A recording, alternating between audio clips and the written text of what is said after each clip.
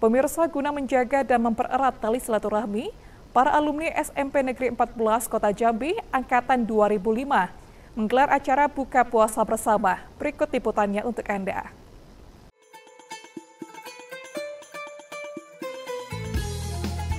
Bertempat di EV Garden Kota Jambi di penghujung Ramadan 1445 Hijriah tahun 2024 Masehi ini, alumni SMP Negeri 14 Kota Jambi angkatan 2005 menggelar kegiatan buka bersama dengan tajuk Buko Serempa. Tampak pada pelaksanaannya, suasana keakraban terjalin begitu hangat.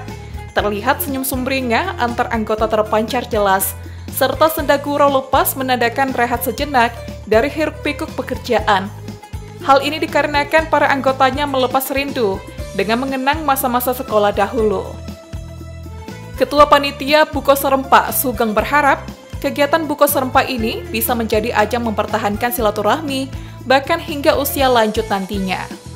Supaya kita um, apa namanya itu bisa saling silaturahmi sampai nenek kakek lah nanti. Amin ya Allah. Hal senada disampaikan oleh Rina Puspitasari yang merupakan salah satu alumni SMP Negeri 14 Kota Jambi. Dalam penyampaian kesan dan pesannya, ia mengucapkan terima kasih kepada segenap kepanitiaan yang telah mempersiapkan acara dengan baik. Lebih lanjut, Rina juga berharap ke depannya kegiatan silaturahmi yang dikemas seperti buku serempak ini bisa dipertahankan, bahkan hingga memasuki usia lanjut nantinya. Harapannya teman-teman, mudah-mudahan tahun depan kita insya Allah diberi kesehatan